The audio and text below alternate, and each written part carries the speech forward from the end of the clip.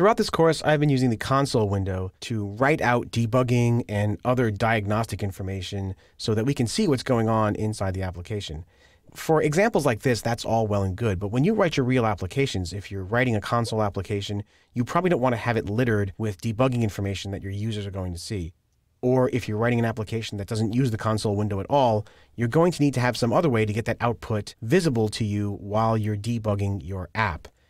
The way that we're going to do this in this particular example is by using the system.diagnostics namespace, which gives us access to something called the debug class. The debug class gives us a way for logging debugging information in a way that we can see it, which doesn't interfere with the actual output of the program. To use the debug class, I'm going to do a couple of things. As you see here on line 6, the system.diagnostics namespace. This gives me access to something called the debug class, which gives us a bunch of features that are similar to what we've been using the console window for a write line statement and a few other things that we'll take a closer look at. The debug class is going to log all this information to a place called the output window. And the output window is going to show up here in the IDE when we make it visible. To use the output window, there's a couple things you're going to have to do. First, under the Tools menu, go down to the Settings submenu and make sure that the Expert Settings option is checked. Once you've done that, under the View menu, there'll be an option for Output. And when you choose Output, this little output window will show up here in your IDE. Don't worry about the Show Output From option just yet. Right now it's empty, but that will be filled in for us. If you're a sharp-eyed reader, you'll notice that I'm using pretty much the same code that we used in the reading and writing data files example, although I've reorganized it a little bit to use functions and so on. What we're going to do now is first build the application. So hit F6, and you'll see that down in the output window, a whole bunch of information was logged for us by the IDE. It says that the build was started, and then there's a line that says, hey, build one succeeded. So everything looks pretty good. Our code can also use this same output window to log debugging information. And the way that we're going to do that is by using the debug class. Go ahead and scroll down and see how the debug class works. This code probably looks familiar to you if you watched the earlier example on using files. I'm not going to focus too much on that. What I'm going to focus on instead is the information that I've put into the file to help with debugging. Here's a debug class call, and you'll notice that the debug object has a function called writeLine, which works pretty much the same way that the console's writeLine object works as well. Only instead of sending output to the console window, this is going to write information out into this output window down here. Here I'm write lining out some piece of information that the file was created and so on and so forth. And we do the same thing down here. A couple of other features though there's a assert function call, and assert basically makes sure that the Boolean condition supplied in here is true.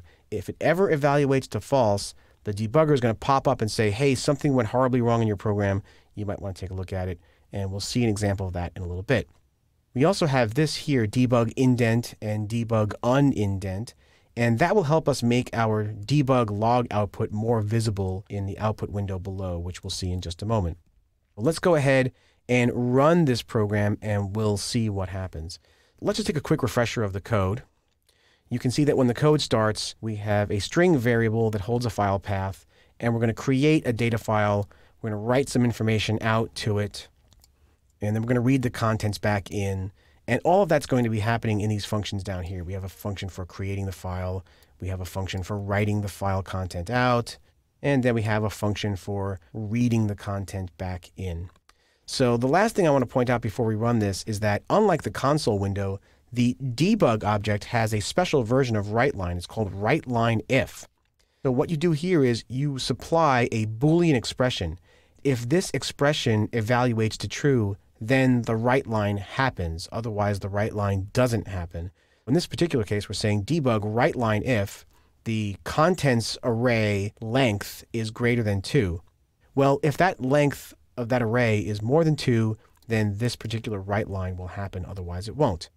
So let's go ahead and run this example. We ran the file and we added a whole bunch of content to the file. So let's go ahead and hit return to exit. And let's go examine the output in the output window. The first thing you'll notice is that there's a whole bunch of output messages that were put here by the .NET framework. You don't really need to pay attention to any of these.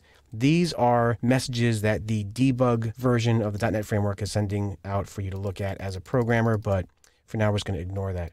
What we're going to do is look for our first examples of debug output, and they are right here. For example, we have writing file data, file data written, the file has more than two lines. Well, where did those come from? Well, if we scroll down in our content, we can see right here, this did not execute because the file already exists. But if the file hadn't existed, we would have called the write line function for creating the file with content, whatever. However, when we write the file data out, you'll notice that the writing file data string got written out. And because it's indented, right here, you can see that there's a little bit of a tab space in here, which makes the debug information a little bit easier to read. Down here, we do the same thing. After the file's data has been written, we have a debug output statement that says the file data has been written, and that's also indented. And because the contents of that file had more than two lines, you can see that this writeLine if statement executed. Let's do one more example Let's see if we can get this assert to trigger right here. What we're going to do is pass in an empty string content to write to the file. I've decided that here in my application that anyone who calls this function has to provide string content that's not empty.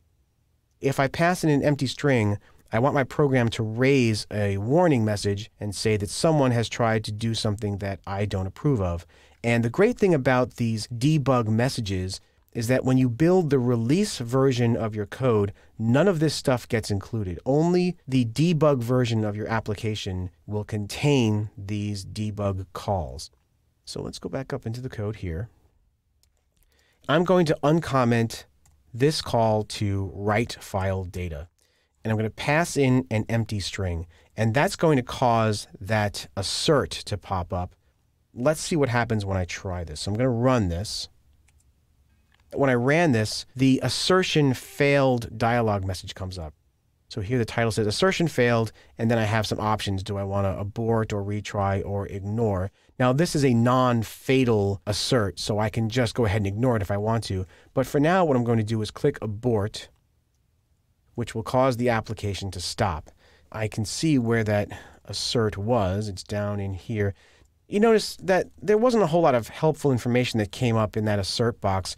Just a big stack of messages that says, hey, here's the function where things went wrong. So I can include a message in this assert.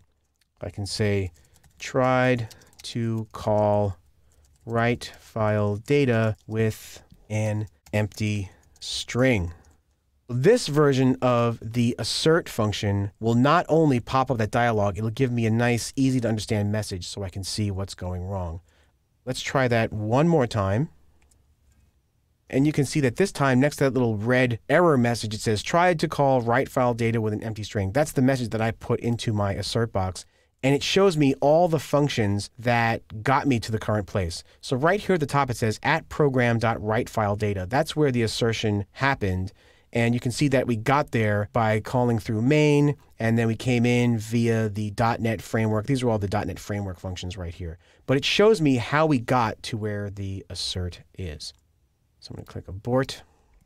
And then at this point, I would go back and I would try to figure out, okay, who's calling write file data, who's doing it with an empty string, and so on. This is how you can use the debug class to add some extra debugging information right into the IDE while you are debugging your application.